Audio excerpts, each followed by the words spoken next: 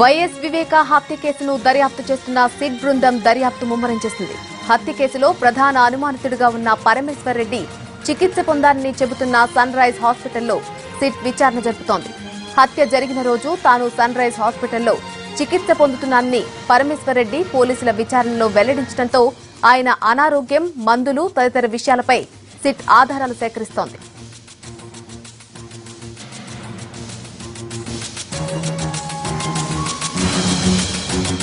వివేకా హత్య కేసు దర్యాప్తు సీబీఐకి అప్పగించాలన్న టీడీపీ ఎమ్మెల్సీ బీటెక్ రవి పిటిషన్ను ఏపీ హైకోర్టు విచారణకు స్వీకరించింది. కేసులో ప్రతివాదులకు నోటీసులు ఇచ్చింది. ఈ నెల ఇరవై మూడులోపు దర్యాప్తు నివేదికను హైకోర్టుకు సీల్ కవర్లో అందించాలని రాష్ట్ర ప్రభుత్వాన్ని ఆదేశించింది. తదుపరి విచారణను జనవరి మూడుకు వాయిదా వేసింది.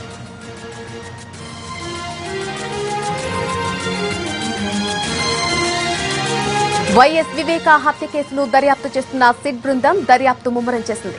హత్య కేసులో ప్రధాన అనుమానితుడిగా ఉన్నటువంటి పరమేశ్వర్ రెడ్డి చికిత్స పొందానని చెబుతున్న సన్ రైజ్ హాస్పిటల్లో సిట్ విచారణ జరుపుతోంది.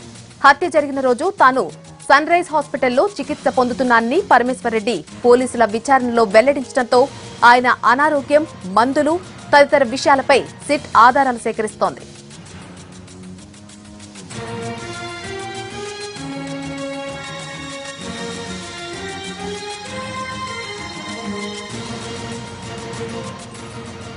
వివేక హత్య కేసు దర్యాప్తు సీబీఐకి అప్పగించాలన్న టీడీపీ ఎమ్మెల్సీ బీటెక్ రవి పిటిషన్ను ఏపీ హైకోర్టు విచారణకు స్వీకరించింది.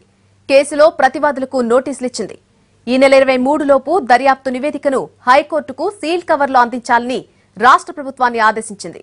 తదుపరి విచారణను జనవరి మూడుకు వాయిదా వేసింది.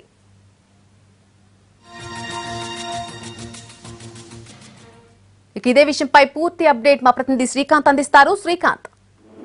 మాజీ మంత్రి వైఎస్ వివేకానంద రెడ్డి హత్య కేసుకు సంబంధించి విచారణ సరిగా జరగట్లేదని చెప్పి టీడీపీ ఎమ్మెల్సీ ఈ నెల పదకొండో తేదీన హైకోర్టులో పిటిషన్ కూడా దాఖలు చేశారు. కేసు దర్యాప్తు మొత్తాన్ని కూడా సిబిఐకి అప్పగించాలని చెప్పి ఆయన హైకోర్టులో పిటిషన్లో కూడా కోరాడు దీనికి సంబంధించి ఈ రోజున హైకోర్టులో వాదనలు కూడా కొనసాగాయి. ఇరు వర్గాల వాదనలు విన్న హైకోర్టు ప్రస్తుతం ఇప్పటి వరకు జరిగిన హత్య కేసుకు సంబంధించిన నివేదిక ఏదైతే ప్రాసెస్ జరిగిందో ఆ ప్రోగ్రెస్ రిపోర్ట్ మొత్తాన్ని సీల్ కవర్లో హైకోర్టుకి ఈ నెల ఇరవై మూడో తారీఖు లోపుగా ఇవ్వాలని చెప్పి రాష్ట్ర ప్రభుత్వానికి ఆదేశించింది. అదేవిధంగా తదుపరి విచారణని వచ్చే సంవత్సరం జనవరి మూడో తారీఖున వాయిదా వేస్తూ అయితే ప్రస్తుతం ఆదేశాలు జారీ చేసింది. దీనికి సంబంధించి ప్రస్తుతం టీడీపీ ఎమ్మెల్సీ బీటెక్ రవి తరపును అందించడానికి కేంద్ర మాజీ న్యాయశాఖ మంత్రి సల్మాన్ ఖుర్షిద్ కూడా ఢిల్లీ నుంచి ప్రభుత్వ ప్రస్తుతం హైకోర్టుకు కూడా హాజరయ్యారు.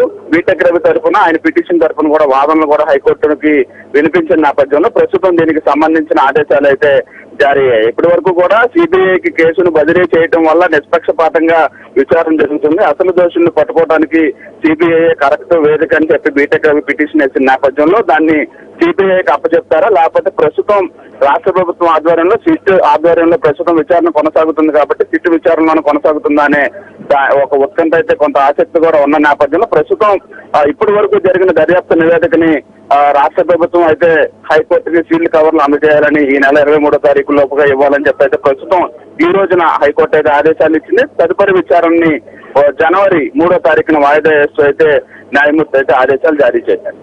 Right Srikanth thanks for the update